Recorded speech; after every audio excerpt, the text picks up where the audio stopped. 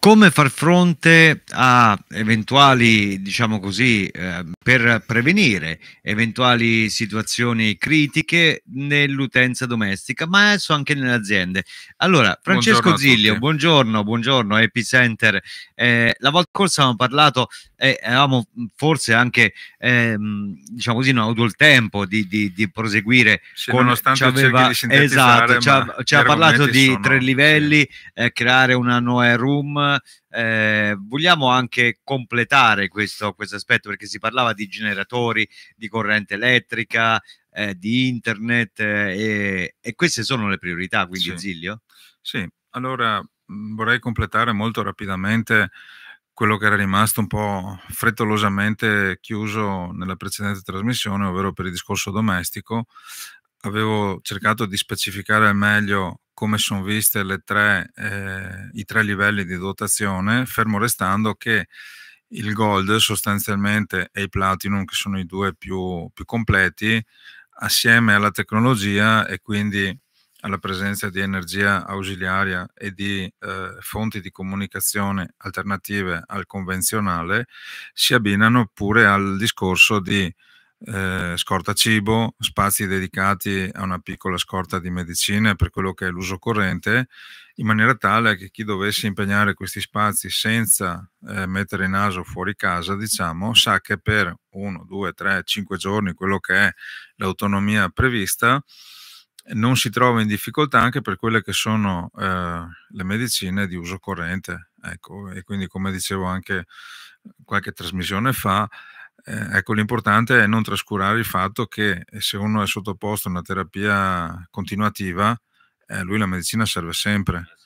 E quindi che sia pressione alta, che sia diabete, che siano patologie delle più, eh, delle, delle più ampie o che uno semplicemente sia sotto una terapia che prevede un mese di farmaco, se all'interno di quel mese ha una sospensione, lui soffre dei guai. Quindi bisogna fare in modo che quando uno pensa di allestire questo spazio, ripeto, nelle nelle classificazioni più prestazionali, ecco, sia dedicato uno spazio specifico e dico specifico perché perché all'interno di un'abitazione ognuno di noi le medicine le mette dove vuole di solito, no? Può essere in bagno, nell'armadietto, può essere in cucina, fuori portata di mano dei bambini di sicuro, ovviamente, laddove ce ne fossero. E mentre qui, se noi pensiamo a uno spazio vedi una stanza, all'interno di quella stanza ci deve essere un'organizzazione assolutamente ordinata di tutte le cose, primo per non impegnare spazio inutilmente, secondo per avere la prontezza d'uso quando serve, eh, perché io sono lì, quindi non devo andare in cerca in altre stanze o mi viene il dubbio che è da un'altra parte, altrimenti viene meno l'aver reso concretamente chiusa quella stanza se nel momento in cui devo prendere e andare da un'altra parte perché magari ho lasciato in garage un'altra cosa. Ecco. Bene, eh, chiuso questo argomento legato al domestico, poi è chiaro, mm.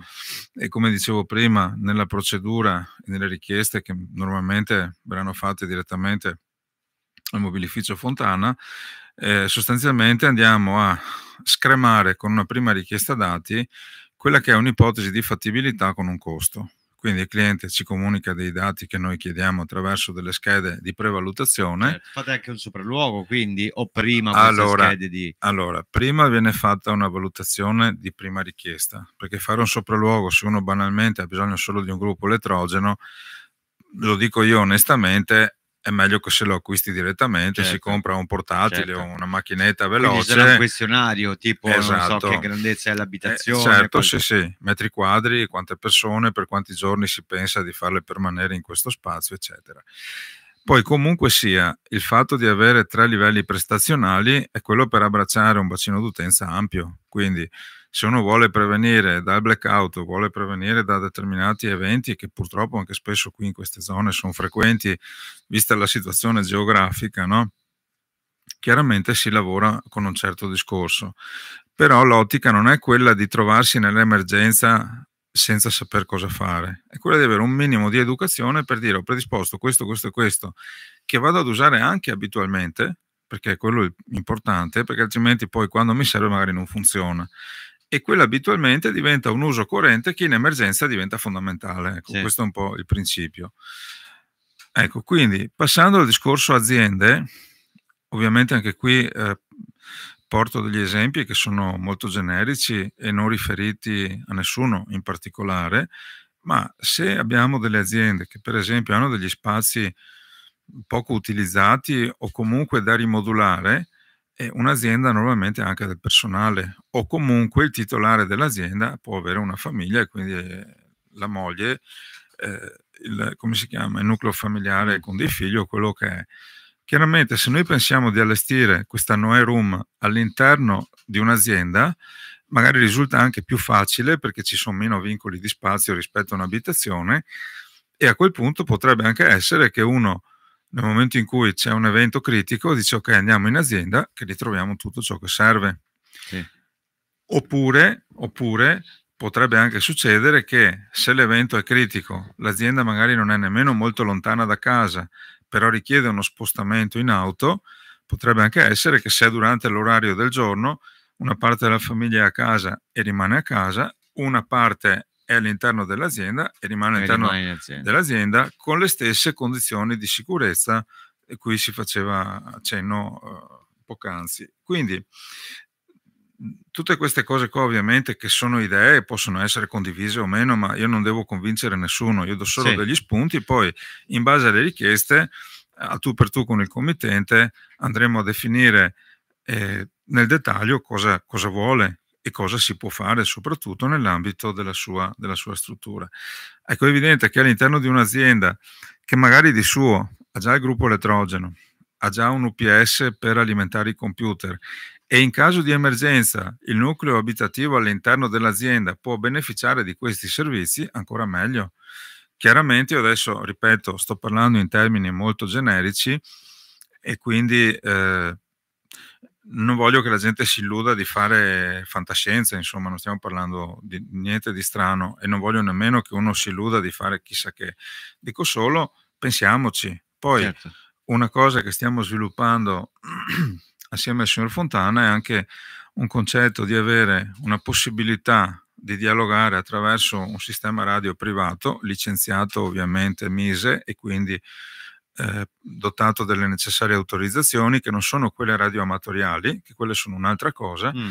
ma significa che io ho un sistema radio privato su una frequenza che a me è affidata, quindi è solo mia in questa zona, e io riesco a parlare in un raggio di tot chilometri con chi ha lo stesso sistema. Quindi potrebbe essere mm. da casa all'azienda, per esempio. Cioè un'azienda potrebbe dotare i propri dipendenti di questo sistema? Anche volendo sì, mm. chiaramente ci sono dei limiti dettati dalla copertura radioelettrica del sistema, però eh, se uno lavora in ambito locale, per dire nella vallata Agordina, e ha bisogno di comunicare anche e soprattutto in situazioni critiche, cioè quando non va il telefono, per esempio, sì quella può essere una, una, cosa di ausilio. Ovviamente ha dei costi sia di installazione e di messa in servizio e sia anche di tassa annuale, perché il mantenimento della licenza d'uso di un sistema del genere richiede una tassazione per pro apparecchio, quindi va definita preventivamente quanto costa e ogni anno uno deve pagare quella, quella quota.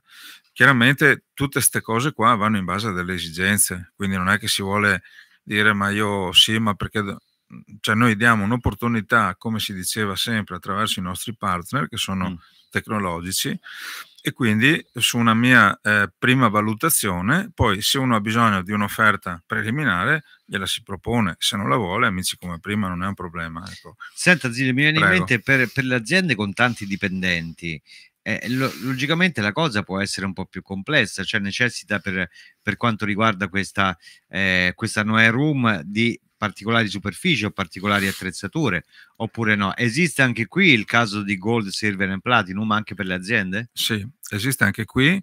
Chiaramente bisogna capire il committente, quindi il titolare dell'azienda, eh, a chi vuole dare questo tipo di servizio, se lo vuole dare a tutti, perché dice se i miei dipendenti sono qua e succede un problema, restano qua e trovano ciò che serve. Però attenzione che più aumenta il numero di persone, eh, più aumentano tutte le esigenze correlate a questa situazione, quindi numero di servizi igienici, riserva idrica, eh, ricambi d'aria adeguati, cioè subentrano molti parametri che più persone ci sono e più si amplificano. Quindi proprio per questo facciamo una scheda di prima valutazione in maniera tale che il nostro committente o potenziale committente, se non è già un cliente nostro, eh, parlo al plurale perché parlo anche appunto di, del gruppo Fontana e quindi eh, anche per loro, che tra l'altro eh, reduci della settimana scorsa della fiera di Riva del Garda, che ha avuto molte richieste e molti approfondimenti,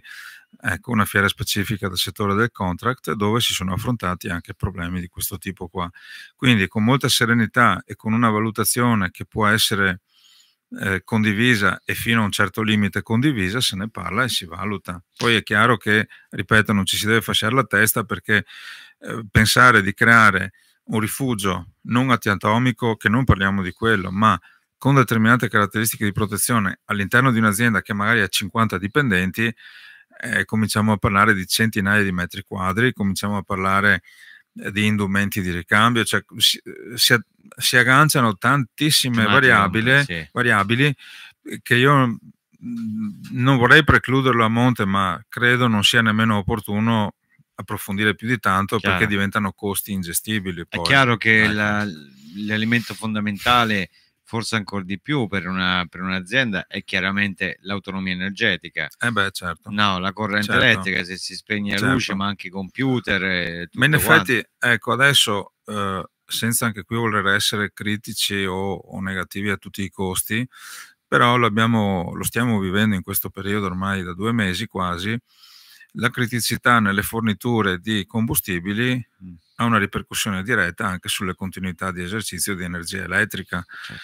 Quindi fino adesso non abbiamo avuto particolari problemi, diciamo particolari perché blackout ce ne saranno sempre limitati, magari circoscritti a delle zone, ma purtroppo ci saranno. Però è anche vero che nel futuro potrebbe anche cambiare lo scenario. Vuoi perché noi come Italia non saremo mai autonomi al 100% come combustibili convenzionali per alimentare le centrali elettriche, e vuoi perché il fabbisogno di energia aumenta sempre, perché da un lato magari da un punto di vista aziendale ci sono molte aziende che purtroppo hanno chiuso, quindi quelle hanno spento gli interruttori, ma quando spuntano colonnine elettriche per la ricarica delle auto, quelli mm. sono migliaia di kilowatt a livello nazionale che bisogna avere disponibili e quindi kilowattora di energia eh, per poter permettere alle auto di circolare. Ecco, quindi secondo me bisogna mm, non fare una miscela di tutto, ecco, bisogna essere molto critici nel senso sì. buono del termine eh, discriminare e far capire al committente, che è quello che io faccio sempre come progettista,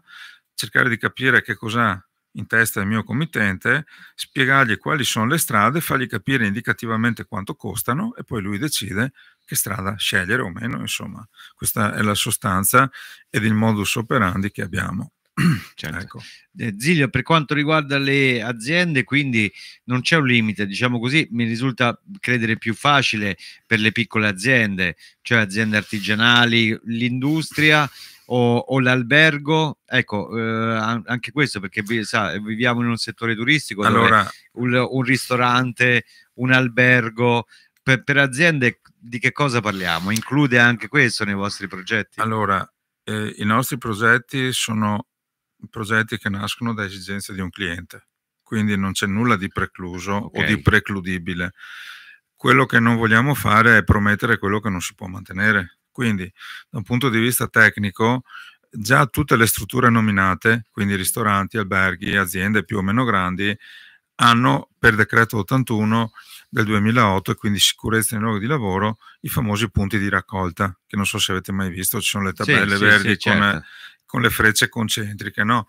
Quei punti di raccolta mediamente e per l'incendio sono ovviamente all'esterno dell'edificio, perché quelli presuppongono un problema dentro l'edificio.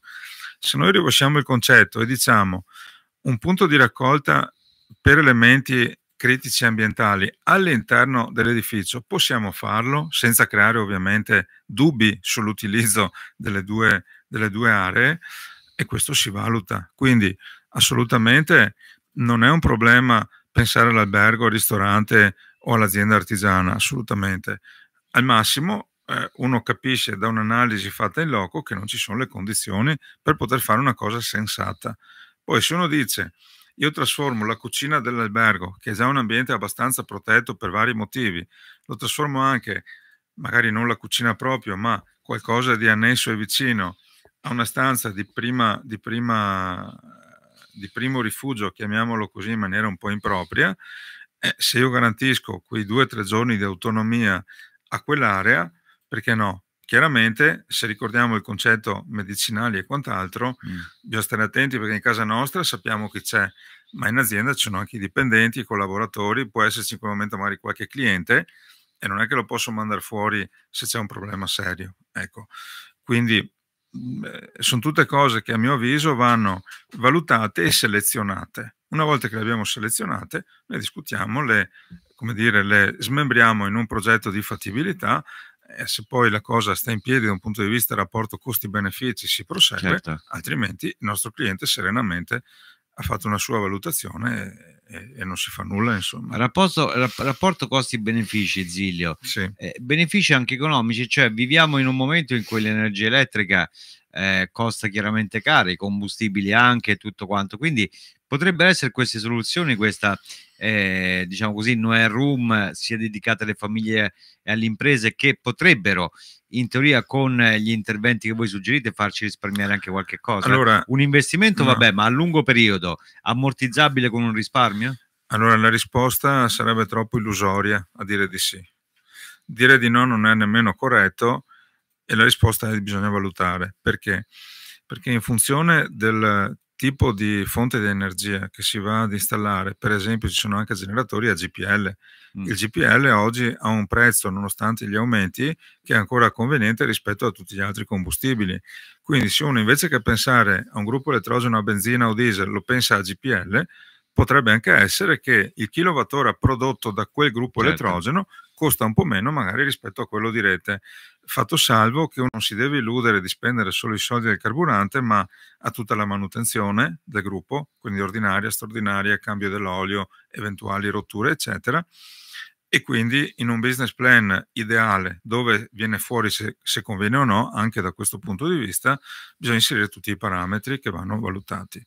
Ecco. E, e, quindi parliamo di prevenzione, Zilio. Sì. Ecco, eh, chiudiamo su questo aspetto. Sì. Eh, l'importante, lo diciamo, adesso è qualche anno che dà dei suggerimenti, delle consulenze molto importanti sulla prevenzione. Anticipare, anche in questo caso forse c'è una maggiore sensibilità purtroppo anche a causa della, della guerra in questo, ma anticipare, ma non magari eventi eh, di questa portata, però anche la criticità momentanea, sì. no? Ma io potrei solo suggerire di andare per gradi.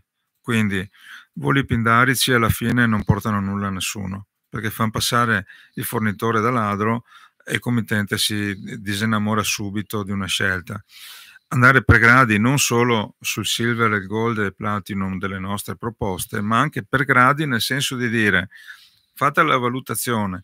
Se io capisco che quel cliente vuole tenere alimentata la lavatrice, il frigorifero e due telefonini, dico ascolta, ti conviene prendere un generatore portatile a un sì. costo umano con quattro prolunghe fatte bene a norma, diciamo, e se capita perdi 10 minuti e ti dai corrente a quelle due o tre cose quando torna a tensione chiaro, sei chiaro. a posto quindi voi fate praticamente una scheda di valutazione adesso sì. abbiamo ancora un minuto Zilio sì, chi, eh, chi, fosse interessato allora sì. eh, chiama e eh, questa chiamata vincola in qualche modo il vostro intervento oppure come diceva una volta nella volta scorsa eh, c'è una scheda di valutazione degli interventi allora, scheda, in base a questo poi... allora la chiamata non è vincolante ovviamente eh, è vincolante se facciamo un sopralluogo perché un sopralluogo ha un piccolo costo e quello lo dobbiamo chiedere perché comunque ormai lo vedete tutti quanto costa mettere in moto la macchina. Eh sì. Ecco, però se si riesce a fare una prima valutazione, per esempio, da una compilazione via mail della scheda, quindi senza che ci dobbiamo per forza spostare, o da qualche annesso fotografico che il committente ci può inviare, fatta salva la norma sulla privacy, automaticamente e noi possiamo già dare una prima valutazione senza chiedere nulla. Ovviamente sempre preso con le pinze perché quando pensiamo a un generatore a combustibile dobbiamo pensare a rumore, dobbiamo pensare all'emissione dei fumi di combustione, quindi se l'abitazione è un appartamento in un condominio, eh, sapere che ci sono dei vincoli anche ambientali, che non possiamo fare quello che vogliamo ovunque, a meno che uno non abbia una casa isolata in mezzo a un, bo- a un bosco, diciamo, passatemi il termine, visto che qua di Eh, boschi sì. ce ne sono tanti, allora se ha una casetta isolata in mezzo al bosco è chiaro che si possono fare anche altri ragionamenti. Eh, certo. Però ecco, noi Anche cerchiamo, il bosco però ha, ha i suoi rischi e purtroppo l'abbiamo verificato. Lei, gi- certo, lei, lei giustamente, ecco, è chiaro che in montagna, in luoghi isolati ci sono rischi diversi esatto. da quelli che sono Infatti nelle il nostro compito è quello di valutare preventivamente Esatto. i rischi e poi dare delle soluzioni. Zilio, siamo in conclusione. eh, per chi vuole mettersi in contatto con lei? 327 869 0054 oppure si mette in contatto direttamente col mobilificio Fontana Ivo, Sì. che loro sono preparati per queste prime analisi, lavoriamo in tandem, oppure il nostro sito internet, che è sempre il solito, l'abbiamo semplificato, epicenter senza la i, Sì. quindi epicenter.srl. Grazie Francesco Grazie a voi, grazie ancora. Alla prossima Alla occasione. prossima, grazie a voi.